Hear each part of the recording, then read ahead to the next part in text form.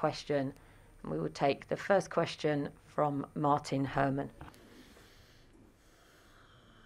It's Martyn Herman from Reuters. Uh, well played today, um, Novak. I just wondered um, when you came here in 2016, having won uh, the first two slams of the year, and you, and you lost that year, has that kind of been in your mind? And, and that, does that explain the way that you look so focused?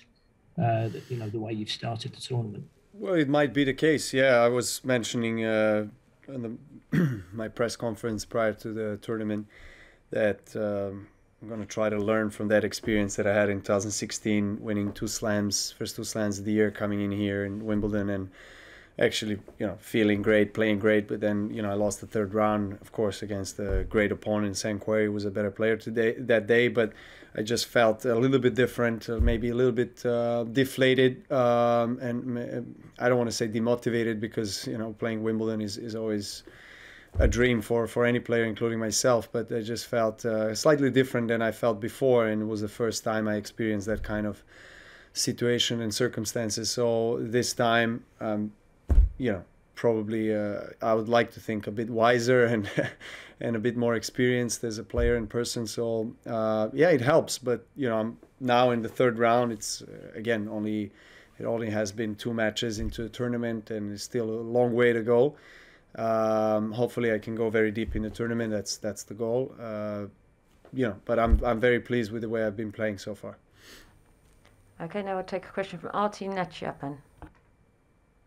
Um, hi Novak, congratulations. Thank um, you. I know you made a joke on the course of the interview about um, being friends. I spoke about the court being a bit slippy at your last match as well. Um, just a kind of difficult this time, and if so, how do you feel it after the game?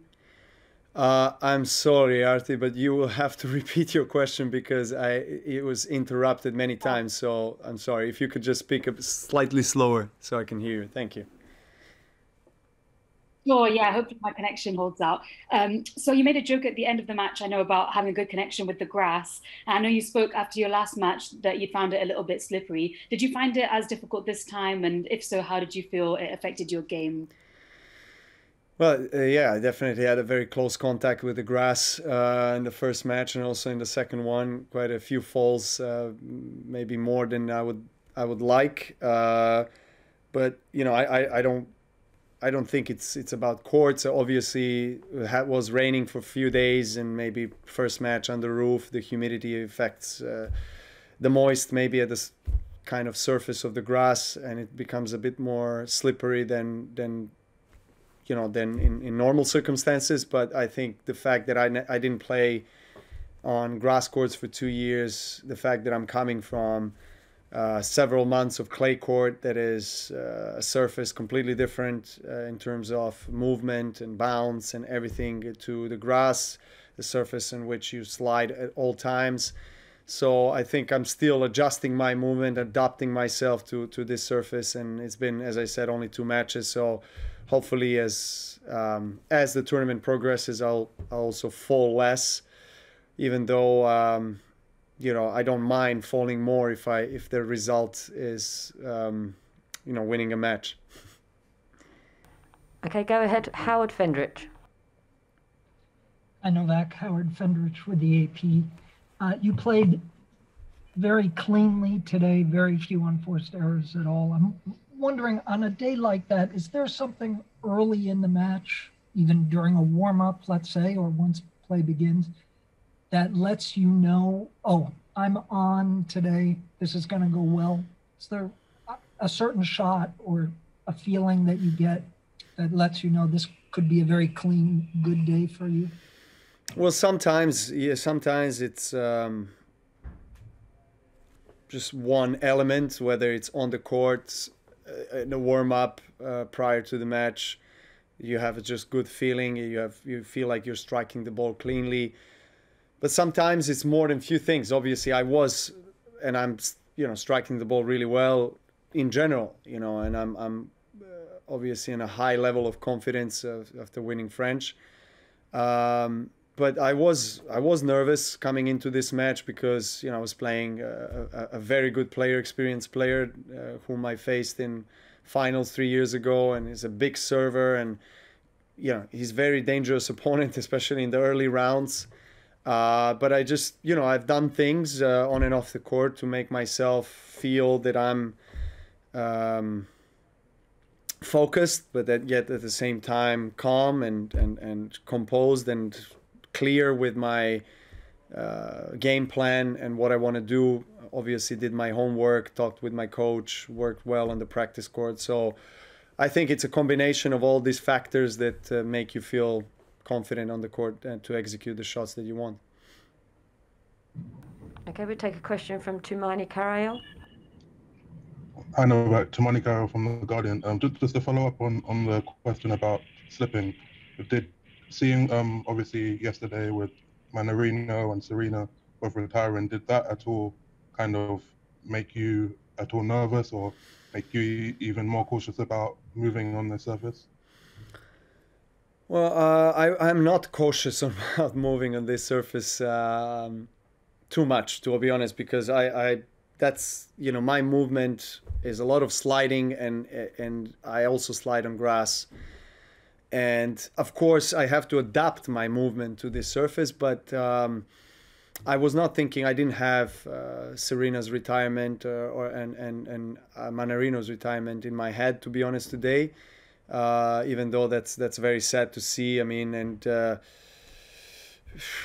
I, I can't I can't speak on behalf of the other players whether they feel that the courts are maybe a bit bit more slippery than than maybe previous years, but you know, for me, I think it's my movement that is probably a bit more aggressive and dynamic first steps and change of directions, you know, and that that that I've carried on from the clay court season to to grass. And as I said, you know, the more matches you play because practice session and practice sets and and and official match is completely different, you know, with nerves and everything. And so uh, of course you're going to tend to fall slightly more uh, in official matches. But you know that's that's that's that's all really. Okay, we just have time for one more English question. Oliver Brown. Hi Novak. Um, extraordinary high level today with just six unforced errors, I believe. I, I just had a broader question. I mean, the next two or three years with with Roger and Rafa um, picking and choosing which which majors they compete in are you and your team perhaps looking at the next two to three years to to, to dominate as you as you never have before? Is that is that in your thinking at all? Uh, well, I look to I look to peak at the biggest tournaments in our sport, and I've said it before. Uh, at this stage of my career, Grand Slams are the one that matter the most, and of course, thousand events on the ATP Tour, and I try to you know try to maintain the high position on the rankings but since i reached the historic number one for me now the priorities playing well well on slams and olympic games obviously the, this this year being olympic year.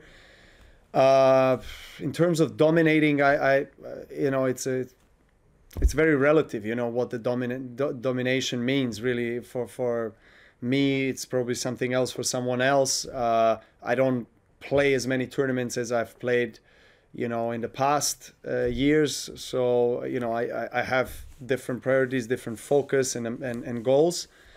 Um, so you know, that's that's that's all I can say about the way I've been feeling right now and what I'm aiming for in, in professional tennis.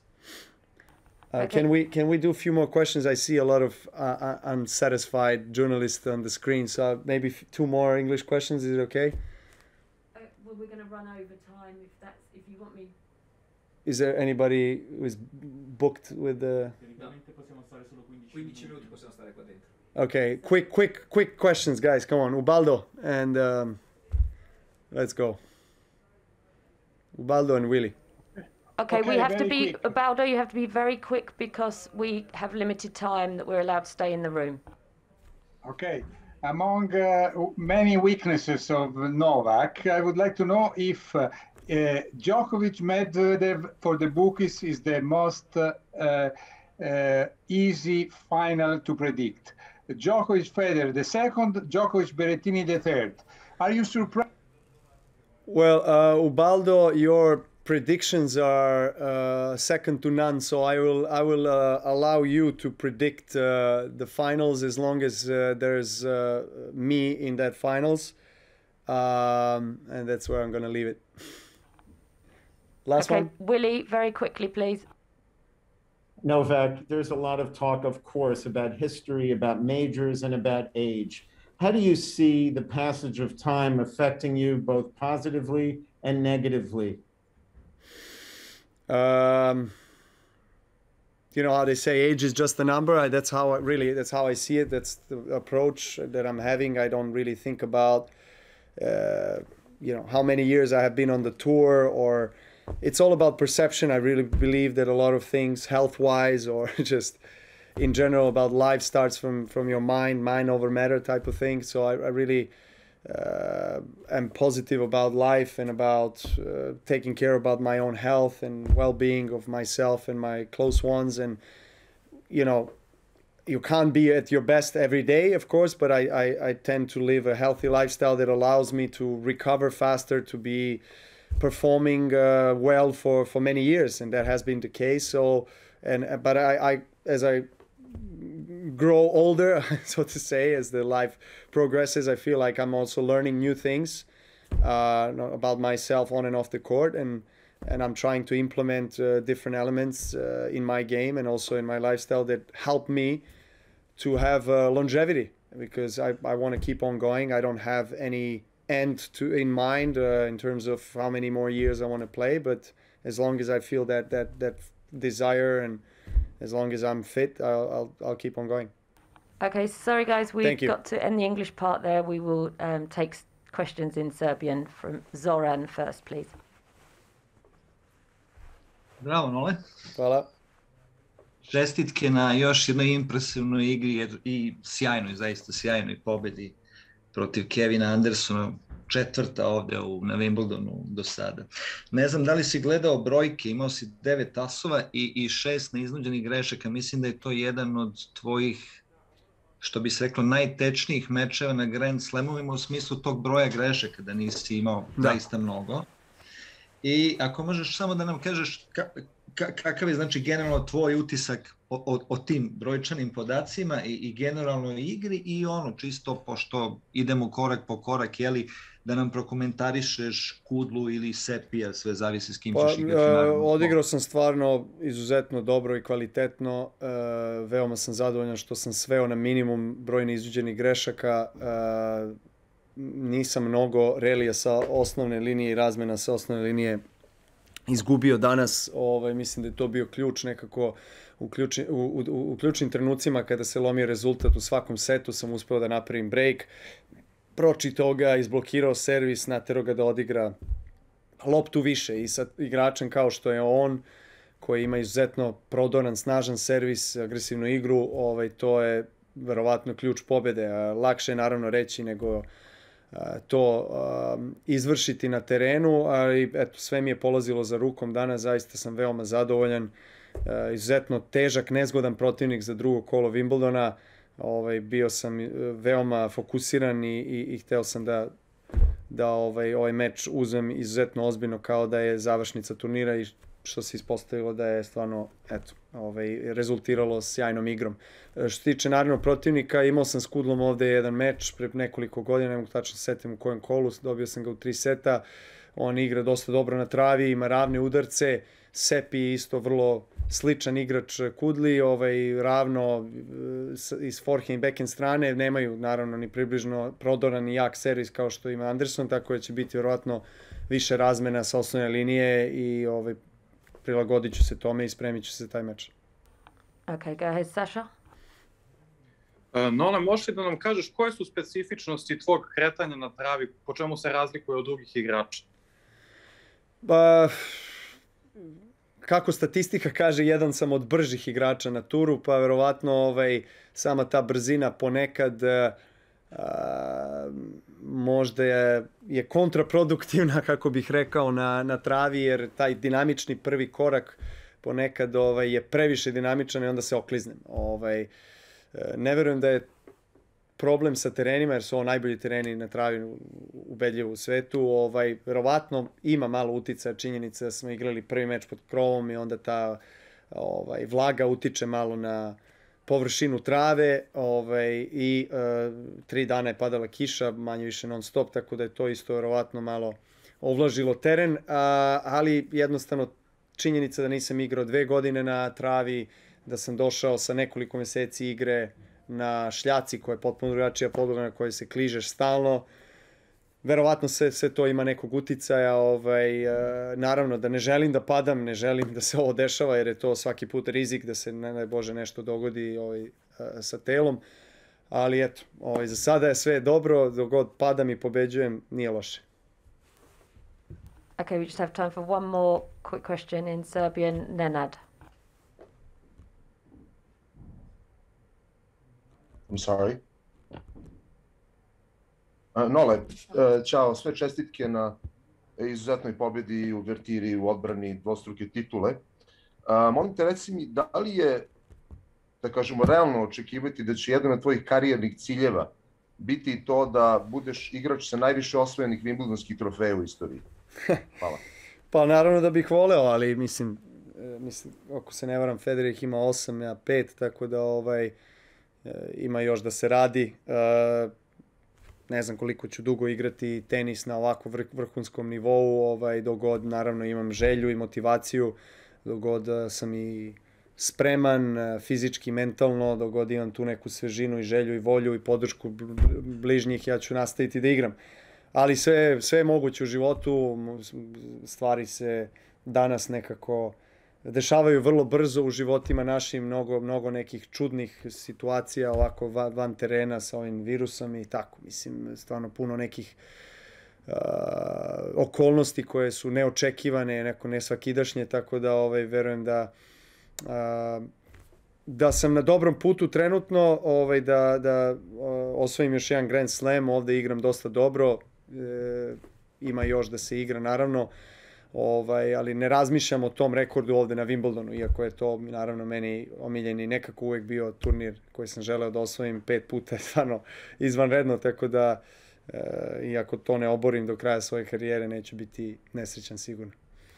I'm sorry Hvala guys, puno. we have to finish it there. Thank you very much. Thank you. Studio?